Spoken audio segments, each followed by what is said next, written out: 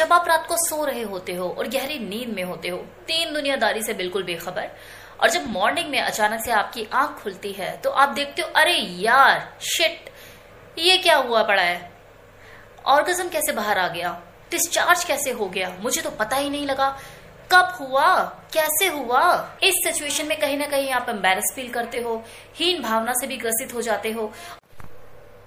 और ये जो प्रॉब्लम है ना, ये ज़्यादातर टीन एज के लड़कों में और जो अर्ली एज ग्रुप के जो यंगस्टर्स होते हैं, उनमें ज़्यादा देखी जाती है कि उनको हमेशा इसी चीज़ की परेशानी झेलनी पड़ती है कि यार मॉर्निंग में पता लगता है कि डिस्चार्ज हुआ पड़ा है। इन लोगों को नाइट फॉल या वेट ड्रीम इन चीज़ों का ज़्यादा सामना करना पड़ रहा होता है।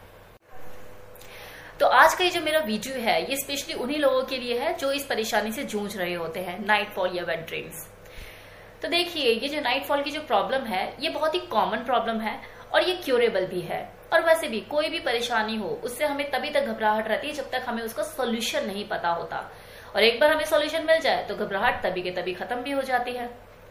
अब अगर आप ये जानना चाहते हैं कि नाइट फॉल से कैसे निजात पाया जाए, या इस प्रॉब्लम को कैसे सॉर्ट आउट किया जाए तो इसके लिए बहुत ज़रूरी है नाइट फॉल होता क्यों है, इसको पहले जानना। कि नाइट फॉल होने के रीजन क्या होते हैं? तो हम इसके रीजन और इसकी वजहों के ऊपर बात करते हैं। तो डियर सबसे पहला रीजन तो ये है कि अगर आप अनमैरिड हैं लेकिन आप सेक्सुअली एक्टिव हैं आई I मीन mean, आप मैस्टरबेट करते हैं और रेगुलरली करते हैं और इसकी कोई लिमिट नहीं है बहुत ज़्यादा करते हैं तो आपको नाइट फॉल की शिकायत रहेगी रहेगी। सेम इसी तरह से अगर आप अनमैरिड हैं लेकिन आप सेक्सुअली बिल्कुल भी एक्टिव नहीं है आप मैस्टरबेट भी नहीं करते हैं तो भी आपको नाइट फॉल होगा ही होगा। हमारी बॉडी का सिस्टम कुछ ऐसे डिज़ाइन किया गया है कि एक एज आने के बाद बॉडी के अंदर स्पर्म प्रोड्यूस होना शुरू होता है। और इसकी कोई नेचुरल वे में हमारे शरीर में स्टोरेज की व्यवस्था नहीं की गई है। तो जब ये स्पर्म बॉडी में ज़्यादा बनने लग जाता है तो वो ऑटोमोड पे ओवरफ्लो होना शुरू हो जाता है। और आपको नाइटफॉल का शिकार होना पड़ता है। मतलब एक बाल्टी में उसकी कैपेसिटी से ज़्यादा आप पानी भरे जाएँगे भरे जाएँगे तो कुछ टाइम बाद वो छलकना शुरू हो जाएगा ना। तो वही चीज़ है, जब स्पर्म हमारी बॉडी में ज़्यादा बनना शुरू हो जाता है और स्टोरेज की संभावना नहीं होती तो बॉडी के अंदर से ऑटोमेटिकली बाहर आ जाता है, जिसे आप नाइटफॉल कहते हैं। वो टीनेज लड़के या फिर ये कह लो कि यंग अडल्ट मेल जब उन्हें धीरे धीरे चीज़ों की समझ आनी शुरू हो जाती है तो उनके अंदर सेक्सुअल डिज़ायर पैदा होने शुरू हो जाती है। तो रात को सोते हुए अगर वो किसी फीमेल को इमेजिन करते हैं और उसके साथ सेक्सुअली इन्वॉल्व होना जैसा ऐसा कुछ फील करते हैं तो ऑटोमेटिकली उनका नाइटफॉल हो जाता है। अब कुछ लोगों को ना ये भी एक तरह का डाउट होता है कि अरे यार मेरे अंदर तो ऐसा कुछ था ही नहीं। मैं तो जब रात को सोया, एकदम नॉर्मल सोया था, एकदम भला चंगा। फिर ऐसे कैसे हो सकता है? कैसे नाइटफॉल हो गया? तो डियर आपको क्या पता कि आपके साथ क्या हुआ? ये बिल्कुल वैसे ही चीज़ है जैसे आप खुली आँखों से सेक्स करते हो। आपका डिस्चार्ज होता है, आप थकते हो और आप सो जाते हो। सेम इसी तरह से आप बंद आँखों से आपने किसी चीज़ को महसूस किया, आपका डिस्चार्ज हुआ और आप गहरी नींद में सो गए। भले आप नींद में थे, लेकिन आपकी बॉडी तो एक्टिव थी। अब अगर बॉडी एक्टिव थी, तभी तो डिस्चार्ज हुआ। तो डिस्चार्ज होने के बाद आपको थकान नहीं और आप नींद में सो गए। सुबह उठे तो अचानक से देखा, ओ भाई साहब, ये क्या हुआ पड़ा है? तो आपको तो कुछ याद ही नहीं ना। याद कैसे होगा? आप तो सो गए। अब बात करते हैं कि इस नाइट फॉल को रोका कैसे जाए, क्योंकि वो कोई भी चीज़ जिसमें आपकी इच्छा शामिल नहीं है और वो रेगुलरली आपके साथ चीज़ें हो रही हैं तो वो कहीं ना कहीं नुकसान ही देगी। इस नाइट फॉल की वजह से कहीं ना कहीं आप एक एम्बेरसमेंट तो फील करते ही हो, साथ ही साथ आपकी सेहत, आपकी हेल्थ को भी ये बहुत नुकसान पहुंचाता है। और वैसे भी अगर आजकल के लाइफस्टाइल की बात करो तो जहाँ पर एक इंसान को ना सोने का पता, ना खाने का पता, ना पीने का पता, इस तरह के एटमोस्फियर में अपने आप को हेल्थी और फिट बनाए रखना, अपनी हेल्थ को मेंटेन करना सबसे बड़ा चैलेंज है। अब बात करते हैं कि इसका सॉल्यूशन क्या है। तो डियर देखो, यहाँ पे ना बैलेंस बनाने की ज़रूरत है। अगर आप मैस्ट्रोबेट करते हैं और बहुत ज़्यादा करते हैं तो भी दिक्कत है। और अगर आप मैस्ट्रोबेट बिल्कुल नहीं करते हैं, पूरे संत महात्मा बने हुए हैं तो भी दिक्कत है। तो अगर आप महीने में तीन से चार बार अगर मैस्ट्रोबेट कर लेते हैं तो कोई प्रॉब्लम नहीं है।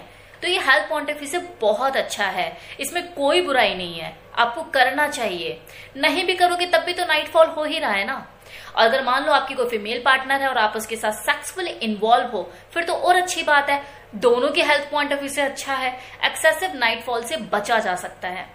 दूसरी चीज़ बॉडी की रिकवरी होना बहुत ज़रूरी है। एक बैलेंस डाइट का लेना रेगुलर बेसिस में आपके लिए बहुत ज़रूरी है। क्योंकि ये जो सीमन होता है जो डिस्चार्ज के थ्रू निकल जाता है आप खुद सोचिए वो कितना पावरफुल होता है। एक, बच्चे को पैदा करने की ताकत रखता है वो। लेकिन वो वैसे ही वेस्ट हो जाता है। तो उसकी रिकवरी तो होनी चाहिए ना ताकि आपको कोई हेल्थ इश्यू ना आए आपके अंदर वीकनेस ना आए। अब कितने लोगों जो नाइटफॉल रहता है, उन्हें फ़िज़िकल वीकनेस फील होती है, उनके नीज में पेन रहता है मेमोरी लॉस की शिकायत रहती है।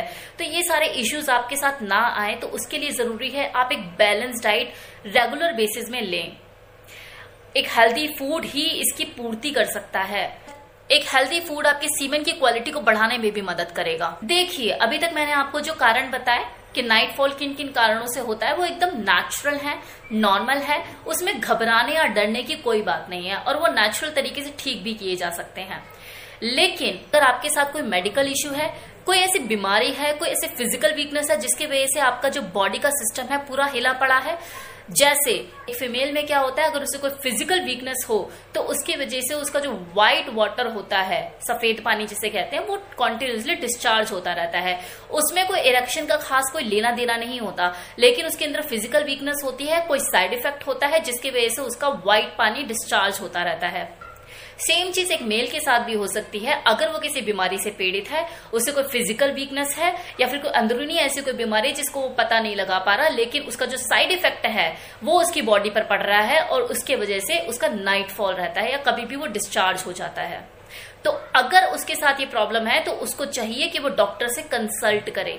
क्योंकि इस सिचुएशन में एक जो मेल होता है, वो बच्चा पैदा करने में भी इनकेपेबल हो जाता है। उसके सीमन की क्वालिटी भी डाउन होने लगती है। तो उसको चाहिए कि वो डॉक्टर से कंसल्ट करे, वो उसका पूरा चेकअप निकालेगा, उसको ट्रीटमेंट स्टार्ट करेगा और उसको बेहतर तरीके से गाइड कर पाएगा। और ये मैं इतने दावे से इसलिए कह पा रही हूँ क्योंकि मेरी काम वाली के साथ सेम ये प्रॉब्लम थी। फ़िज़िकल वीकनेस होने की वजह से उसको व्हाइट पानी डिस्चार्ज होता रहता था कॉन्टिन्यूसली अभी इस सिचुएशन में ना तो उसको कोई सेक्सुअल डिज़ायर थी, ना ही वो मैस्ट्रिबेट करती थी, वो तो सुबह से लेकर शाम तक बस काम में पीली रहती थी। उसके बावजूद भी उसको व्हाइट पानी डिस्चार्ज होता था। तो ये एक मेडिकल इश्यू होता है। अगर इस तरह के सिम्टम्स आपके साथ हैं कि बिना किसी सेक्सुअल डिज़ायर के, बिना किसी रीजन के आपका अगर डिस्चार्ज होता है तो आपको डॉक्टर को दिखाने की बहुत ज़रूरत है। एंड लास्ट यही कहना चाहूँगी कि नाइट फॉल जो है, ये बहुत ही कॉमन प्रॉब्लम है और ये क्योरेबल है। ये ज़्यादातर टीनेज लड़कों में और या फिर अर्ली अडल्ट मेल में ज़्यादा पाई जाती है।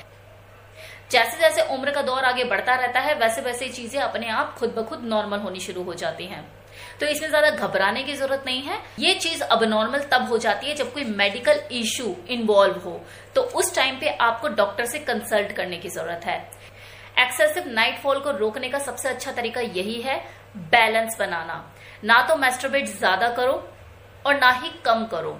लिमिट में करो। अपने पर्सनल और अपने प्रोफेशनल लाइफ को भी बैलेंस बनाकर चलो। अपने खाने पीने का टाइम सेट करो। सात से आठ घंटे की नींद ज़रूर लो। एक हेल्दी वर्कआउट ऐड करो। हेल्दी फ़ूड अपनी डेली डाइट में ऐड करो। इस बात का हमेशा ध्यान रखिए एक फ़िज़िकल रिलेशनशिप को एंजॉय करने के लिए फ़िज़िकल लेवल पे हेल्दी होना भी ज़रूरी होता है। और ये मेल ही नहीं फीमेल के लिए भी ज़रूरी है। क्योंकि ऐसा नहीं है कि जो नाइट फॉल होता है, ये मेल को ही होता है। ये फीमेल को भी होता है। कोई फीमेल इस तरह के नाइट फॉल या वेट ड्रीम से परेशान है तो वो इन तरीकों को फॉलो कर सकती है जो मैंने बताया। Thank you for watching this video thank you और ये प्लीज़ मुझे बताना कि मैं बैठकर ही वीडियो बनाऊँ या फिर मैं स्टैंडिंग पोजीशन में वीडियो बनाऊँ? आपको क्या पसंद है? तो कमेंट सेक्शन में ज़रूर बताइएगा।